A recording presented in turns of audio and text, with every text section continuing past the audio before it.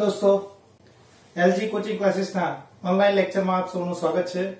મિત્રો, અહીંયા આપણે ધોરણ દસ વિષય ગણિત ચેપ્ટર નંબર એક, વાસ્તવિક સંખ્યાઓના લેક્ચર નંબર આઠની અંદર આપણે ગયા લેક્ચરની અંદર વાત કરીએ તો ગયા લેક્ચરમાં આપણે એક્સરસાઇઝ વન પોઈન્ટ ટુ માં ક્વેશ્ચન નંબર ટુ આખો જોયો તો બરાબર? અને આજે અહીંયા ક્વેશ્ચન નંબર ત્રણ જોવાનો છે. તો ક્વેશ્ચન નંબર ત્રણની અંદર વાત કરીએ તો અહીંયા આપણને સૂચના એવી આપેલી છે કે નીચે આપેલા પૂર્ણાંકોના અવિભાજ્ય અવયવની રીતે ગુસા અને લસા શોધવાના છે, બરાબર? ફરીથી, જે આપણને અહીંયા સંખ્યા આપી છે, સંખ્યાના ગુસા અને લસા, એ અવિભાજ્ય અવયવની રીતે શોધવાના છે, બરાબર? હવે અવયવ વૃક્ષની રીતે તો ઓલરેડી આપણે આગળના લેક્ચરમાં શોધ્યા છે, બરાબર? અને એના લસા અને ગુસા બંને આપણે શોધતા હતા. પણ અહીંયા આપણને ત્રણ અલગ અલગ પૂર્ણાંક સંખ્યાઓ લીધી છે. અને ત્રણે ત્રણ અલગ અલગ પૂર્ણાંક સંખ્યાઓના લસા અને ગુસા શોધવાના છે. અને એ પણ અવિભાજ્ય અવયવની રીતે. તો આપણે પહેલો દાખલો અહીંયા. એની રકમ આપી છે બાર, પંદર અને એકવીસ. તો અવયવ વૃક્ષની રીતે. આપણે આના અવિભાજ્ય અવયવ પાડીએ, તો બાર છે. તો બાર ના બે વડે ભાગી શકાય છે, કારણ કે એકમનો અંક શું છે? બે. તો બે છ બાર. હજુ છ છે, તો છ ને પણ અવિભાજ્ય અવયવ આપણે બે વડે એને ભાગી શકશું. તો બે તારી છ. બરાબર? તો આના કેટલા આ રીતે અલગ અલગ અવયવ પડી ગયા. હવે પંદરની વાત કરીએ, તો પંદર માટે પંદરમાં એકમનો અંક કેટલો છે? પાંચ. એટલે કે ત્રણ અને પાંચ વડે વિભાજ્ય છે. ત્રણ વડે ભાગી જોઈએ તો ત્રણ પંચા પંદર. બરાબર? હવે આગળ કશું એની પ્રોસિજર થશે નહીં. હવે એકવીસની વાત કરીએ, તો એકવીસ માટે એકમનો અંક કેટલો છે? એક. એકમનો અંક એક છે. એટલા માટે અહીંયા એ ત્રણ વડે કાં તો સાત વડે વિભાજ્ય હશે, બરાબર? તો ત્રણ વડે ભાગાકાર કરી જોઈએ આપણે, બરાબર? તો ત્રણ સિત્તા એકવીસ થાય, બરાબર? હવે આપણે અહીંયા જે કંઈ પણ અહીંયા આપણને મળ્યા, બરાબર? અવિભાજ્ય અવયવની રીતે આપણે અલગ અલગ આપણને જે સ્વરૂપ મળે, તેનું ગુણાકાર સ્વરૂપ લખીએ, બરાબર? તો આપણે બાર માટેનું ગુણાકાર સ્વરૂપ લખીએ, તો બે ગુણ્યા બે ગુણ્યા ત્રણ, બે ગુણ્યા બે ગુણ્યા ત્રણ. અહીંયા બે કેટલી વાર છે? તો કે બે બે વર્ષ એટલે કે બે નો વર્ગ ગુણ્યા ત્રણ. ફરીથી બાર માટે શું કરશું? બે ગુણ્યા બે ગુણ્યા ત્રણ. બે કેટલી વાર આવ્યા તો કે બે વાર એટલે બે નો વર્ગ. અને ગુણાકારમાં ત્રણ તો છે. પંદર માટે વિચારીએ તો પંદર માટે શું થશે? ત્રણ ગુણ્યા પાંચ. અને એકવીસ માટે લખીએ તો એકવીસ માટે ત્રણ ગુણ્યા સાત. બરાબર? એકવીસ માટે શું થશે? ત્રણ ગુણ્યા સાત. હવે આપણે આપણે આનો ગુસા અને લસા લેવાનો છે. તો પહેલા આપણે લસા લખી નાખીએ કે લસા. કોનો? તો કે બાર, પંદર અને એકવીસ. તો આનો લસા લેવાનો છે. લસા માટે આપણે શું કરશું? બધા જે અંક હશે, દરેકે દરેક અંકનો આપણે ગુણાકાર લઈશું. પણ, ગુણાકાર લઈએ, પણ એમાં એક વસ્તુ ખાસ ધ્યાન રાખવાની છે કે, એકય અંક રિપીટ ના થવો જોઈએ.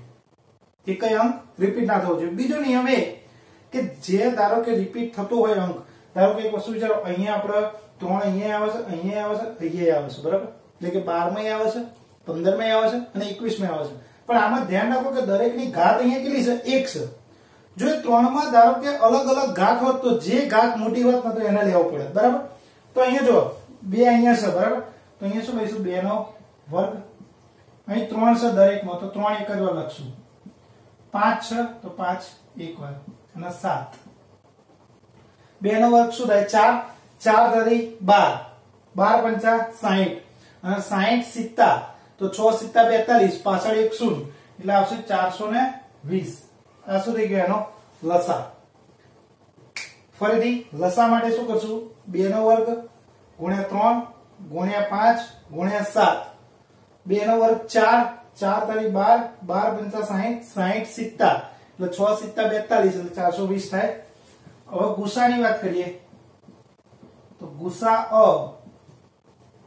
કોનો લેવાનો છે? તો કે બાર, પંદર અને એકવીસ નો ગુસા. તો ગુસામાં જો દરેકમાં કોમન શું છે અહીંયા? તો કે અહીંયા ત્રણ આવે છે, અહીંયા ત્રણ આવે છે, અને અહીંયા ત્રણ. તો આ શું થઈ ગયો? એનો ગુસા. ખબર પડી? એટલે બાર, પંદર અને એકવીસ નો ગુસા કહેલાઈ ગયો કેટલો મળ્યો આપણને? ત્રણ. અને લસા ચારસો ને વીસ. આ તો દાખલા નંબર એક. હવે આપણે જોઈશું દાખલા નંબર બે.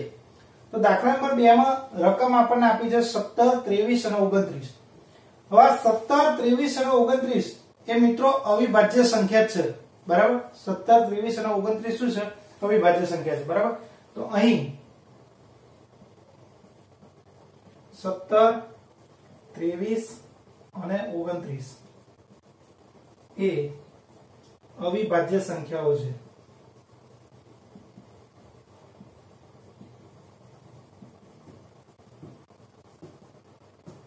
માટે, હવે સત્તર માટે આપણે જોઈએ તો સત્તર માટે શું થશે? સત્તર ગુણ્યા એક. સત્તર એકા સત્તર થાય.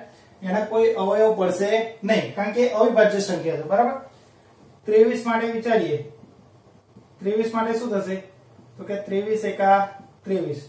અને ઓગણત્રીસ માટે શું થશે? તો કે ઓગણત્રીસ એકા ઓગણત્રીસ. બરાબર? હવે આપણે આનો લસાની વાત કરીએ તો લસા લસા સત્તર, ત્રેવીસ અને ઓગણત્રીસ. આ ત્રણેયનું લસા. તો આ ત્રણેયનું લસા ત્રણ, સત્તર, ત્રેવીસ અને ઓગણત્રીસ નો ગુણાકાર આવશે. બરાબર? સત્તર, ત્રેવીસ અને ઓગણત્રીસ.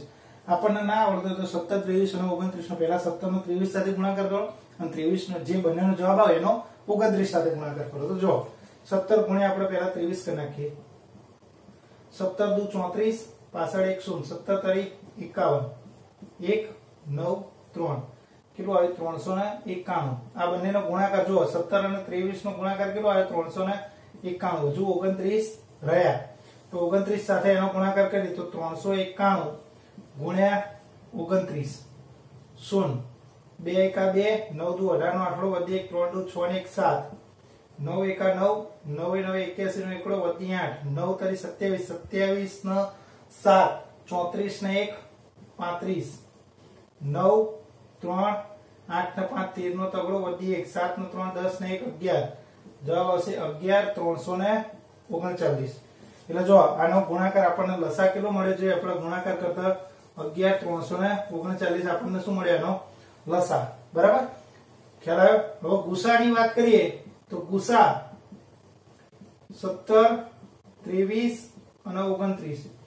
આ દરેકમાં જો કોમન શું છે? એક.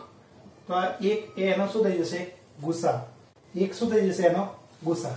ફરીથી સત્તર, ત્રેવીસ અને ઓગણત્રીસ એ અવિભાજ્ય સંખ્યાઓ છે. અવિભાજ્ય સંખ્યાઓ છે તો આપણે એના અવયવ આ રીતના પડશે સત્તર ગુણ્યા એક થશે, ત્રેવીસ માટે ત્રેવીસ ગુણ્યા એક, ઓગણત્રીસ માટે ઓગણત્રીસ ગુણ્યા આ ત્રણે ત્રણના તમે લસા લો તો લસા માટે તમને આવી રીતે ગુણાકાર મળશે. અગિયાર, ત્રણસો ઓગણચાલીસ અને ગુસા તમને મળશે એક.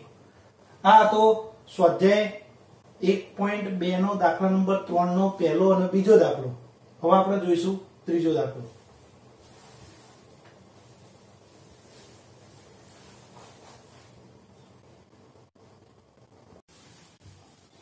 હવે, અહીંયા દાખલા નંબર ત્રણમાં આપણને રકમ આપી છે આઠ, નવ અને પચીસ.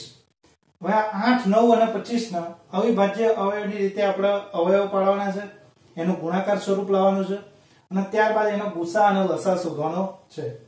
તો સૌપ્રથમ આપણે અવયવ વૃક્ષની રીતે વિચારીએ.